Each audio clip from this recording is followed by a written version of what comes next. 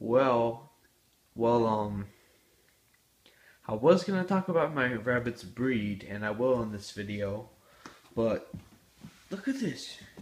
She climbed on top of the box, and she's now looking for more. Thing is, is that she climbed on this box a lot. See, look, now she's just scared. She can't. See, she can't, um. I hope she'll be able to get off, like, you know.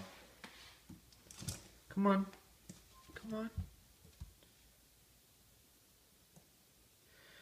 I I can't even pick this rabbit up because, you know, she hates it. She, because of this rabbit's personality, she doesn't like to be picked up at all. And right now she thinks I'm talking to her, so she's looking at me in a way. Hey, buddy. By the way, I named her Juliet. So, yeah.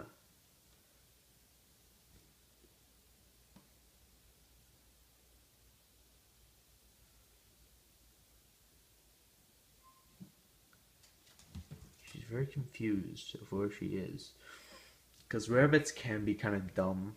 Well, this breed of rabbit is kind of dumb, but, you know.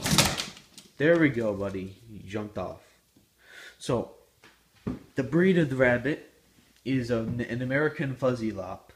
You know, because I looked it up in a in a book about rabbits, and I saw a rabbit that looked exactly like Juliet. They'd be this money, and she doesn't have a nice coat of fur. It's all just fuzz. You know, it's not really fur that much. It's just fuzz. But makes you look a little bit cuter and, new, and a little unique too.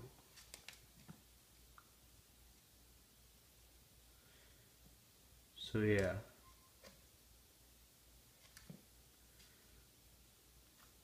She's an American Fuzzy Lop. And uh Bye.